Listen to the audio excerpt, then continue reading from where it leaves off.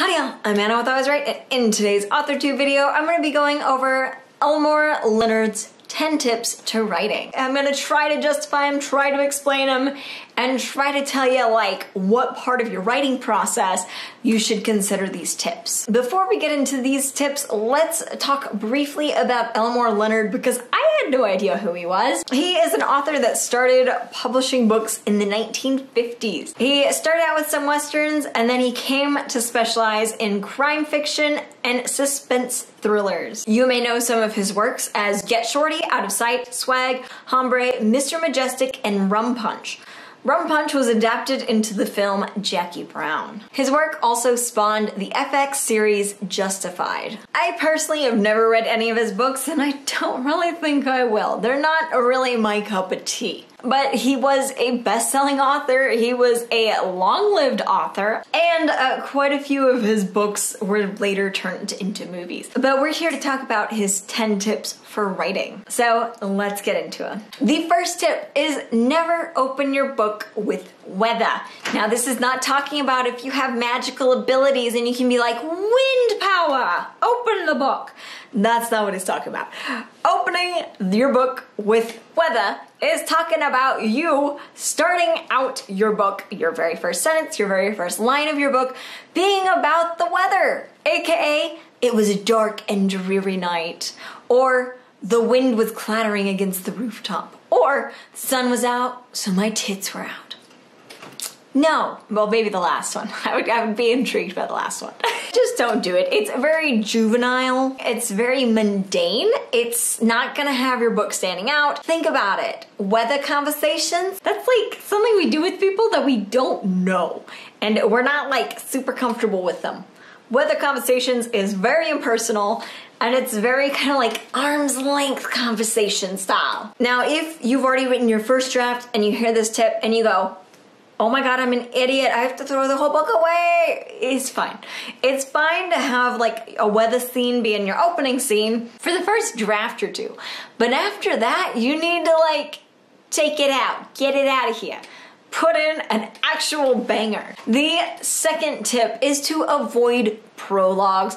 People just don't read prologues, and if you're in the process of like querying and you have a prologue, maybe don't have a prologue. I'm not exaggerating when I say 50% of the people that read books don't read the prologues. They just assume, eh, it's got spoilers in it. I don't want to ruin it for myself. So they like push it away. They go, bye prologue, skip four pages I don't have to read, skip. So just don't waste your time, don't waste your brain power, don't waste your creativity on trying to think of a prologue. Tip number three, never use a verb other than said to carry dialogue.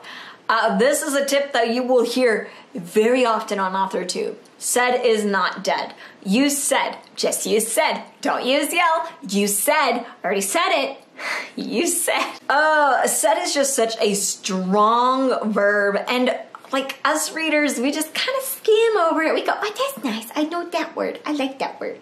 And we're like not pulled out of the conversation that's going on between your characters. This tip is great for any phase. Just take that stress off yourself and just use said, just do it. The next tip is never use an adverb to modify the verb said. So I don't entirely agree with this. There may be some situations where it is necessary or it's like helpful, aka he said slowly. Most of the other cases, it's not really necessary, and I agree with that. This is another tip you should take to heart and like apply to all of your drafts, all of your manuscripts. Adverbs for said really kind of slow down the pacing. They really draw the reader out of the conversation. While really any word outside of the conversation that's going on between characters is like slowing down the conversation with the characters in the reader's mind. So minimize your adverbs at least. I'm not gonna say never.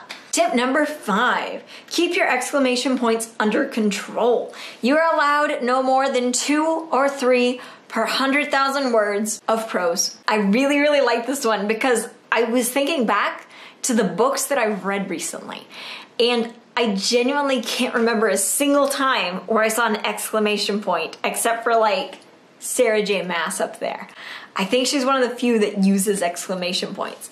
A lot of the other fiction that I've read does not use exclamation points. I don't know if it's like an editor thing. I don't know. When I first read this tip, I was like, oh, it's aimed at like Wattpad people. Then I'm like, wait, this guy died in 2013. Probably not aimed at Wattpad people exclusively. Try to avoid exclamation points. It kind of makes you look like a newer author because that excitement that is portrayed with that exclamation point can be portrayed with like context, with dialogue, with like action you don't have to use an exclamation point. And yes, it does make your book look not that great to have a lot of exclamation points. Like I said, one of the first things that came to mind for me when I saw this was, oh, Wattpad.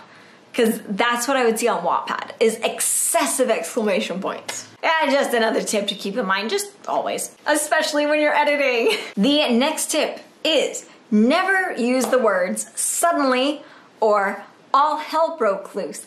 Don't do it, especially together. Don't you dare put suddenly all hell broke loose in your book. It's cheap, it's lazy, and like it's not helping the reader at all. It's great to exaggerate in a general conversation with someone. An example, the dog had a poo-poo in front of the Roomba and all hell broke loose and the Roomba spread it everywhere.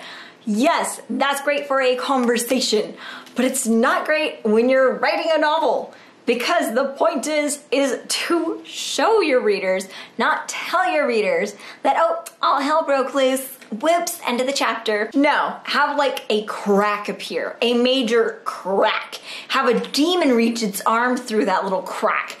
That's when we will know all hell is broken loose. And that was a metaphor by the way you don't have to have like in the middle of your like Amish romance book, like demon hand cracking through. Don't do it.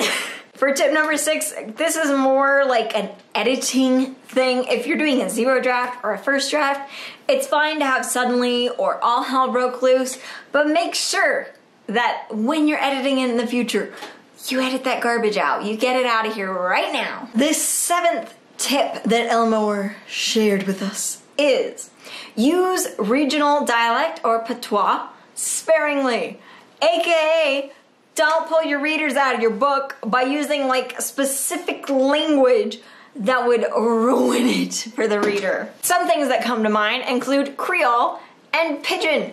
Don't you freaking do it. Don't you do it, buddy. Don't you include Pidgin or Creole in your book, even if they speak Creole or speak Pidgin. Because if your reader has to mentally pull themselves out of that book and read like your dialogue out loud to themselves to understand it, how quickly do you think the reader's gonna put it down because they're tired of it?